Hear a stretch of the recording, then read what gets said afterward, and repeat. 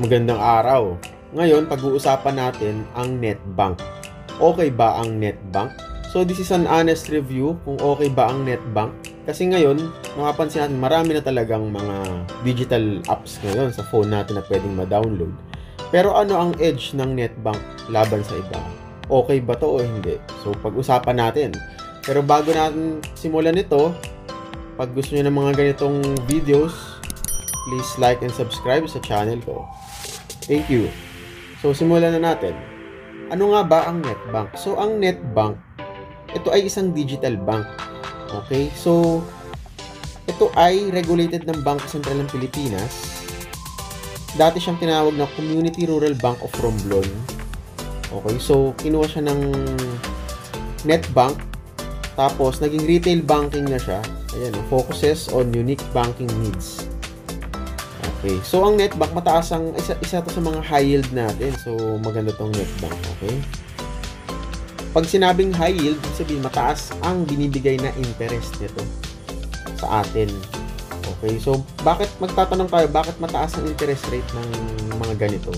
Kasi, basically, wala silang physical na, walang physical na building, physical na shop. Kumbaga, makikita natin na more on ano sila, uh, digital. So wala silang binabayaran na rent sa lupa, wala silang binabayaran na rent sa building, wala silang utilities na binabayaran, Meralco, aircon, uh, water, and then wala silang binabayaran ng security guard, staff, tellers, cash sa, sa accountant nila, wala rin. So, ganun. Kaya mataas ang nabibigyan nilang interest sa atin. So, ang unang tanong dito, safe ba ang netbank? So, makikita natin na under siya ng BSP, so regulated siya ng Bangko Sentral Pilipinas. Tapos, makikita natin dito na meron siyang insure, insurance siya sa PDIC, no? Insured siya sa PDIC up to 500,000. Okay, yan. So, wag naman natin hintayin na mangyari yun na ma-bankrupt ang isang bangko. Okay? Ngayon, ano pwede niyang i-offer sa atin? Merong simple lang na banking, regular savings with interest, ayan yun. Time deposit, bills payment, fund reload, fund transfer, pwede natin InstaPay, cash in and cash out. Okay, scroll natin down. So, mak- makukuha siya sa Google Play Store and sa Apple Store. Okay. So, anong mga kailangan natin para makapag-open? Simple lang, passport. Ito yung mga one, uh, valid ID, uh, government ID ito. So, marami tayong pagpipilian dyan. Pero kung ako sa inyo, kung may driver's license kayo, yun ang tip ko sa inyo, unahin nyo na yung driver's license kasi yun yung pinaka madaling ano, ma-approve. Okay. So, next na common na tanong dyan eh, magkano minimum natin dyan? So, nakasulat dito, no minimum initial deposit, no maintaining balance. Okay. Tapos, 4% daw onwards from March uh, 24. Okay. Tapos, existing accounts, 6.5. Ngayon, next natin is daily interest crediting starting April 1 daw. Tapos, minimum balance to earn interest, 1 peso. So, makakapag-open ka kahit zero. Pero, hindi mag-earn yung zero mo. Dapat may piso ka para mag-earn siya. Okay? Ng interest. Ngayon, meron itong time deposit. Sa time deposit niya, ang minimum naman ay 10,000. So, paano tayo kukuha ng pera? Paano natin nilalagay sa time deposit? Yan ang laging tanong eh. Sa ano muna siya? Sa savings muna pasok mo sa savings. Pag pumasok na ng savings, saka mo siya ilagay sa time deposit. Mamaya, may walkthrough tayo ng application nito. Pakita ko sa inyo kung paano. So, ito ang percentage niya. Kapag 6 months, 5% per annum. Kapag 12 months, 6% per annum. Ang annum, ang ibig sabihin yan, per year. Next na tanong, ilang time deposits ang pwedeng gawin? Ito yung most, most common, no? Hina-highlight ko na lang para mabilis tayo. 5 daw, okay? 5 na time deposit ang pwede mong gawin na account. So, hindi pwedeng sosobra ng 5 hanggang 5 lang. Kunwari, isang 50,000, isang 20,000, isang 30, isang 40, tapos isang 100,000. Yun lang, hanggang 5 lang. Okay, so may pre-termination din. Subject daw siya sa documentary stamp tax. Tapos, next na usually tanong dyan, ah, may PIN ba? So, o password ang ginagamit. Paano bang ginagamit dyan? Numbers ba yan? Password. So, ang netbank ginagamit niya 4 digit lang, no? So, iisip ka ng apat na digit. Yung iba kasi, may letters, di ba? May mga symbols. Pero ito, simple lang. Yun, yun ang kinagusto ko dito sa netbank. Simple lang. Parang Gcash lang. 4 numbers lang. Yung iba kasi ang haba eh, di ba? Next naman, kapag magta-transfer tayo, ang daily limit niya, pipili ka kung peso net or InstaPay. Kapag peso net, 950,000 daily limit. Free yan. Kapag InstaPay, 50,000 daily limit. Free din. Ito naman ang kinagusto ko sa Netbank. Yung iba kasing bank, for example, Como, may bayad na 8 pesos yan per transfer. Yung CIMB, libre. Ah, Maya, may bayad. Gcash, may bayad. Cbank, libre, pero may limit lang yon per week. Tapos GoTime, libre din, pero may limit 3 times a week. 3 times a week lang. Ah... mga yun lang naman. Uno, oh, libre din yun. Ngayon, cash in, cash out. No? Pwede tayo sa 7-Eleven, EasyPay, Endwiller, VIP, Panalo Express. Scroll down lang tayo. Okay, so ito yung partners niya. Makita natin, no? Mga partners ng NetBank. Ngayon, next na check natin. Ito, yung mga, ano niya, uh, promos niya, no? So, get your interest starting April 1, 2023. Daily crediting na daw, no? Daily interest crediting. So, parang si bank na rin to. Daily interest. Kasi yung iba kasi, monthly, okay, parang, pero yung iba, every 15 days pumapasok. Kunwari, every month ang computation, pero 15 days papasok. Parang, for example, CIMB, ganyan. Ah, Como, ganyan. Si bank, every day din yan. Pasok. Tapos, up to 4% daw. Starting April 1. Tapos, kapag newly opened daw. Sa lahat ng newly opened, March 24. Okay, sa time deposit, 5%, 6%. Sa tonic naman kasi, actually, pwede rin yung kalaban ng tonic. Ang tonic naman, 6%. Ah, nagbaba na din kasi ngayon eh. Dati kasi 6.5% yan. So, bumaba na ngayon. No? So, ang tanong bakit nga ba bumaba? Mahabang usapan yan. Pero ang simpleng sagot lang yan. Kasi bumaba na rin ang interest rate ng ah, sa Fed.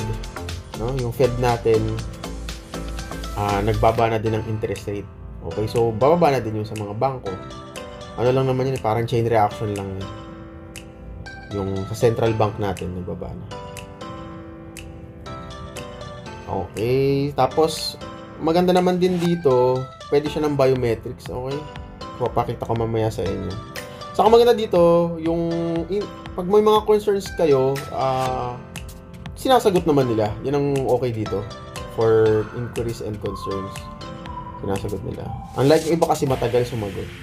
Yun ang gusto ko naman dito sa Netbank. Mamaya, sasabihin ko yung mga ayaw ko sa Netbank. Okay?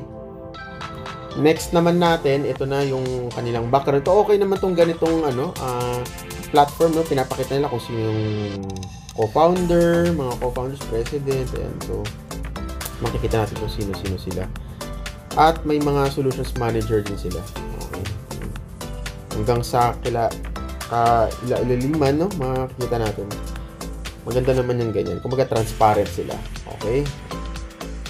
So, I hope sana nakaabot kayo dito sa part ng video na ito kasi dito ko sasabihin yung mga hindi ko naman nagustuhan dito sa NetBank. So, ito, makikita natin, ito yung homepage niya pag nakita nyo. Yan. Makikita natin yung nakasulat doon, mobile savings deposit, 3%. Ayan yung 3% na interest niya. Tapos, meron akong pera na 97.77 pesos.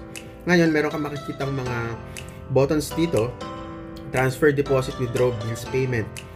Tapos, sa baba, andyan yung transaction natin. So, makikita mo, interest credited, 0.01. So, makikita natin na daily nga. Next natin makikita is yung transfer. Okay, click lang natin yung transfer. Tapos, sa transfer, pwede tayong pumili ng transfer with mobile number, transfer with account number. Next naman is cash deposit. Makikita natin ito kung pwedeng Panalo Express and Senda Direct. Ngayon sa cash withdrawal, ganun din. Panalo Express or Seda Direct. Ngayon, bills payment naman. Ito yung hindi ko nagustuhan. Pero yung una muna, nagustuhan ko dito kasi madami kang pagpipilian. Ayan, no? may 8 art. Kung marami siyang mga companies na pwedeng pagbayaran ng bills payment. Pero ang napansin ko, dito, pag tinype natin yung word na Meralco, hindi lumalabas yung Meralco kasi siguro nakafocus sila more on sa Visayas part eh kasi ang Meralco dito banda more on Luzon pero pag tinype natin yung Visayan Electric Company, ayun lumalabas, merong Visayan Electric Company. Siguro ganoon nga dahil mas nag-focus sila more on sa Visayas part. So, yun yung hindi ko masyado gusto kasi sana meron ding Meralco, di ba? Kahit paano. Ngayon, pwede next natin naman dito is buy load, no? Pwedeng bumili ng load. Yan, meron silang Cherry Mobile, Globe, TM, and Smart. Ngunit nga lang, wala kang makikitang discount. Unlike sa Cbank, pwede may discount na 3% na rebate. Next natin is time deposit. Pag click natin yung sa tab ng time deposit, yan makikita natin dito meron akong deposit na 50,000 pesos. Ang lumabas dito is 51,388.50 pesos. Ngayon, makikita natin dito sa withholding tax, nagbawasan ako ng 347.11 pesos kasi mababawasan tayo ng 20% na withholding tax. So, ang talagang na-credit na lang sa akin dito is 1,735.61 pesos. Kasama na din, din yung dati kong uh, pera na naka-deposit. Okay? So, ang hindi ko lang din masyado nagustuhan dito, yung kanyang time deposit kasi magiging parang manual na yung kanyang time deposit. Dapat kasi, 'di ba, sa ibang bangko, automatic na na mababawas, maki-credit and then babalik din sa mismong parang wallet niya. Ngayon dito kasi, pag gumawa ka ng time deposit, uh, parang papadaanin pa siya sa email mo. Although madali lang naman, and madali namang kausap yung sa email niya. So, ayan, makikita mo, nakasulat, thank you for applying for long, for term deposit 50,000 pesos for 6 months with 7% annual interest rate. Kasi dati, nung panahon na yon uh, 7% pa yung interest rate na yun, naabutan ko. So, makikita natin dito na papadaanin pa nila sa email mo. Tapos, yung sasabihin nila na ganun na umabot na ng, ah, papabutin natin ng, yung terms and conditions ng time deposit mo.